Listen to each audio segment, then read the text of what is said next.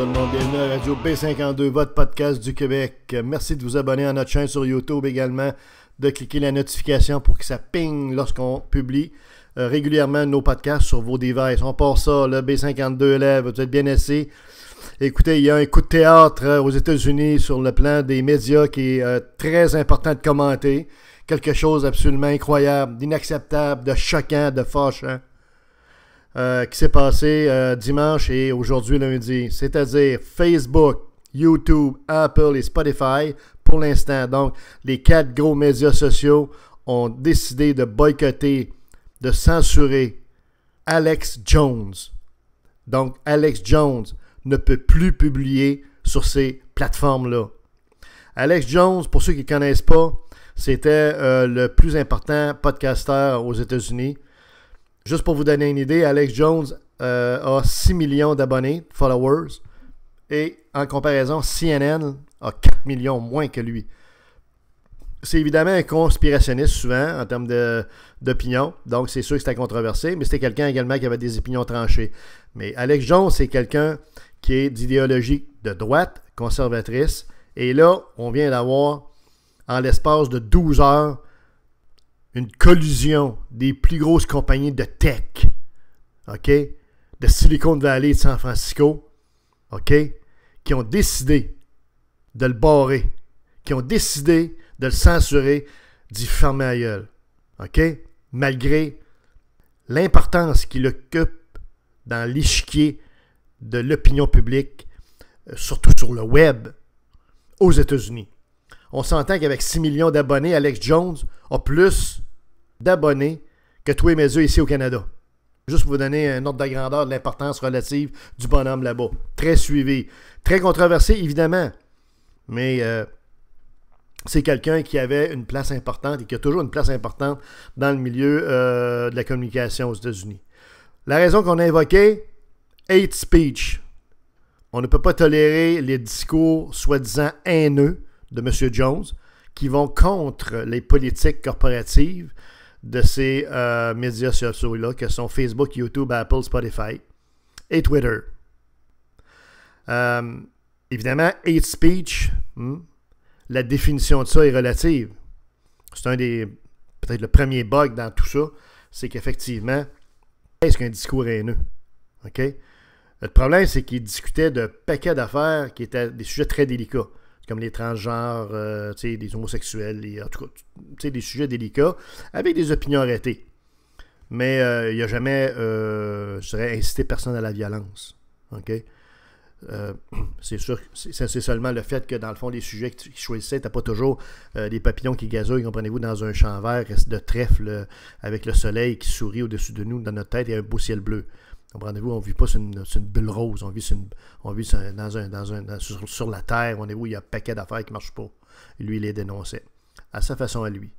Donc, on comprend que là, euh, le monopole des euh, Big Tech Corporations, les grosses compagnies, les plus grosses compagnies corporatives dans la technologie des États-Unis viennent de faire une job de bras euh, qui carrément signifie la fin de la liberté d'expression, la fin de la liberté d'opinion, la fin de la liberté de presse dans ce pays-là, qui était supposé être un exemple unique. Hein? Quand on regarde les États-Unis, on se promène, euh, le président lui-même, puis tout le monde se targue de dire, les Américains, hein, liberté d'expression, freedom, on repassera, hein?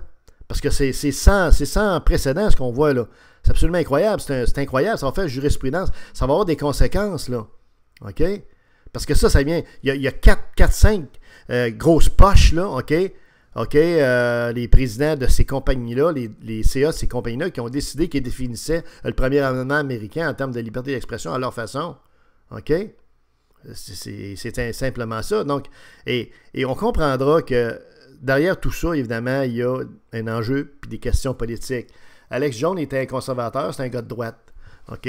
Tous les dirigeants des compagnies de tech qu'on vient de vous parler sont à Silicon Valley et à San Francisco. Ce sont tous des libéraux. Donc, les libéraux jubilent actuellement. Parce que, dans le fond, on vient de fermer à à une voie de droite.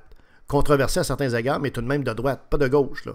Ça veut dire que quelqu'un de gauche, il pas n'y aurait, pas eu, pas eu ce geste-là qui aurait été posé, comprenez-vous? C'est carrément de l'impérialisme culturel, c'est de l'hystérie culturelle. De la part de Silicon Valley et de la ville de San Francisco et de toute la grande région de San Francisco. On y est allé là, c'est très très beau à visiter comme touriste, cette ville-là et tout ça. quoi qu'il commence à avoir un petit peu de caca, un, petit peu beaucoup de caca sur les trottoirs, là. on vous en reparlera à un autre moment donné. Il y a un problème aussi de défécation collective de tous leurs itinérants. Je referme la parenthèse. Mais il reste que c'est carrément de l'impérialisme, c'est carrément de la dictature d'opinion. Comme par hasard, c'est trois mois avant euh, les élections de mi-mandat euh, qui vont avoir lieu là, au mois de novembre aux États-Unis. C'est vraiment euh, l'incarnation de Big Brother, d'abus de pouvoir technologique, d'abus de pouvoir le plus strict qu'on ne peut pas imaginer, le plus inqualifiable qu'on ne peut pas imaginer. Normalement, les médias sociaux puis l'Internet, c'est neutre. Et la plateforme Internet au sens large a l'avantage, a la grande qualité appréciée, je pense, de tout le monde autant ceux qui publient que ceux qui écoutent, euh, qui sont consommateurs euh, des plateformes Internet. Donc, l'avantage de la liberté, justement, d'opinion, d'expression, et de laisser les gens faire l'arbitraire, faire l'arbitrage plutôt sur ce qui est bon, ce qui n'est pas bon, puis de simplement écouter ce qui leur plaît. OK? De ne pas avoir un CRTC qui décide ce qui est bien, ce qui est mal, ou un gouvernement fédéral, provincial ou municipal qui décide, comme ici au Canada puis au Québec, qu'est-ce qui est bien, qu'est-ce qui est mal. Comprenez-vous? Ils sont à de nous la tenir, compris, quand on va aux toilettes. Oui, ça n'a pas de bon sens, là. Fait que là, ce qu'on voit aux États-Unis, dans le fond, là, c'est trop, là, c'est une coïncidence. on fait un parallèle avec ce qu'on a vécu ici avec Robert Lepage, qui s'est vu censurer, dans le fond, euh, qui devait se fermer à Canis pour deux beaux projets, un qui s'appelait Slave, puis un autre qui s'appelait Canada. Donc, encore là, de la censure culturelle. Donc, on s'entend que là, il y a une espèce de gestion de la rectitude politique puis de l'opinion qui est dangereuse. On atteint vraiment là, des, nouvelles frontières, on repousse des frontières qui sont extrêmement périlleuses et qui peuvent mettre en, péril, dans le fond, ce qu'on la façon, dans le fond, dont on euh, vit dans un, ce qu'on appelle, nous, des démocraties.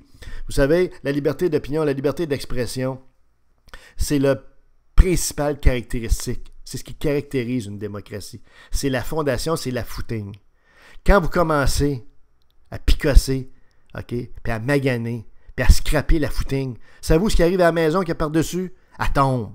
OK? Ben, c'est ça qui nous guette quand on laisse des imbéciles, OK? Des imbus de pouvoir comme les, gens qui viennent de faire la job à Black Jones le censurer. OK? Et c'est quand même euh, étonnant aussi de voir comment il n'y a aucune réaction pour l'instant en tout cas, ni du gouvernement canadien, ni de personne, parce que ça dépasse largement, euh, je le, boycottage d'un podcasteur. Là. Il, y a, une symbolique, puis il y a des conséquences à ça, puis ça adresse vraiment des problématiques euh, au niveau des communications, liberté d'opinion, liberté d'expression, voyez-vous?